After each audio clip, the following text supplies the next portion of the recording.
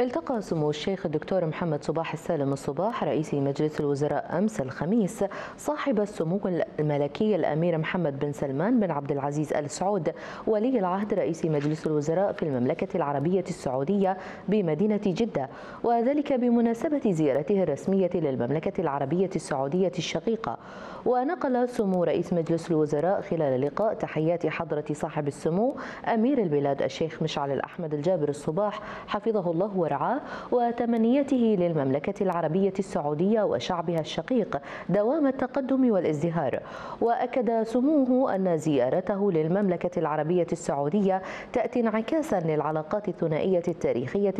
المتجددة والروابط الأخوية المتينة بين البلدين الشقيقين معربا عن خالص شكره لصاحب السمو الملكي الأمير محمد بن سلمان بن عبد العزيز آل سعود على هذه الدعوة الكريمة التي تأتي في إطار التشاور والتنسيق الثنائي المستمر بما يخدم مصالح البلدين والشعبين الشقيقين.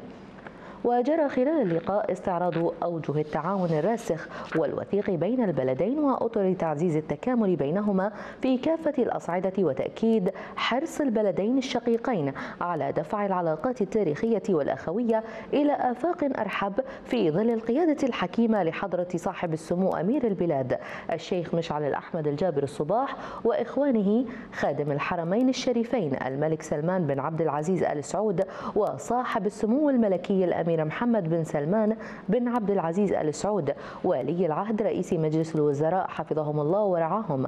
كما بحث الجانبان آخر المستجدات والقضايا على الساحتين الإقليمية والدولية ومواقف البلدين الشقيقين تجاهها مقدرا سموه السياسة المتزنة التي تنتهجها المملكة العربية السعودية وقيادتها الحكيمة لا سيما الجهود الرامية لإرساء دعائم الأمن والسلام في المنطقة والعالم. حضر المقابلة صاحب السمو الأمير سلطان بن سعد بن خالد آل سعود سفير خادم الحرمين الشريفين لدى دولة الكويت وصاحب السمو الملكي الأمير تركي بن محمد بن فهد بن عبد العزيز آل سعود وزير الدولة عضو مجلس الوزراء بالمملكة العربية السعودية وسعادة سفير دولة الكويت لدى المملكة الشيخ صباح ناصر صباح الأحمد الصباح.